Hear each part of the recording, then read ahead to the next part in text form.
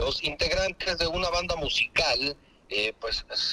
ahora sí sufrieron un fatal accidente donde cuatro de ellos terminaron sin vida. Ellos iban en un autobús, iban en un autobús sobre esta eh, carretera, una carretera algo este, sinuosa, Tangancico Aropatambán, y es justo en un punto donde pierde el control el conductor, se proyecta contra una bodega,